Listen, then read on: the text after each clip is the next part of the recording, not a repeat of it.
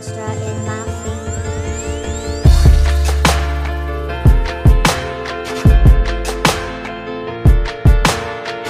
Aleksander Czyż to jest właśnie to, co potrafi e, zrobić nad koszem e, ten zawodnik.